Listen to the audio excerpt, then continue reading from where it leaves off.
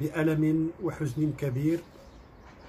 تلقينا هذا الصباح نبأ رحيل أستاذ المجاهد والمناضل الوطني الكبير ورجل الدولة والحقوقي والسياسي والقائد الاشتراكي الديمقراطي السي عبد الرحمن اليوسفي.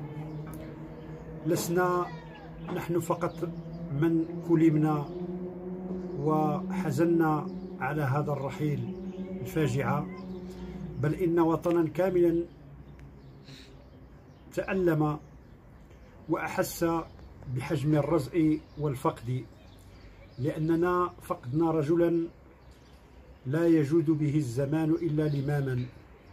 فقدنا رجلا امتد عمره على مدى قرن خصصه كله سواء أثناء الاستعمار أو بعد الاستقلال أو أثناء مسيرة البناء الديمقراطي خصصه لخدمة وطنه وخدمة شعبه وخدمة القضايا العادلة للإنسانية جمعاء. فقدنا رجلا قل نظيره في ثقافته وهدوئه وكتمانه وعفته ونظافته وحصافته وبعد نظره ووطنيته وإلمامه وثقافته وقلمه وعقله وقلبه. رجل بكل هذه الخصال لا يمكن للوطن إلا أن يبكي وراء نعشه ولا يمكن لكل من عرفه أو قرأ عنه أو سمع عنه لا يمكنه إلا أن يبكيه. ويحس بألم كبير وهو يودعه إلى مثواه الأخير. ولعلها مكر الصدف أن يموت السي عبد الرحمن اليوسفي في عز هذه الجائحة التي منعتنا للأسف الشديد من أن نمشي وراءه.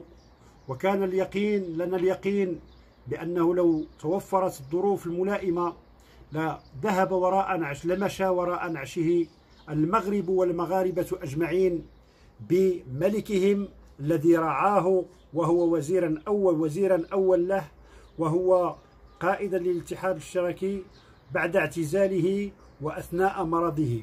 لمش الجميع وراء نعشه لأنه رجل إجماع حقيقي ورجل قدم لوطنه ولشعبه ما لم يقدمه أحد غيره أو قدم الشيء الكثير مما قدمه قلة من أمثاله حتى لا نظلم أحدا.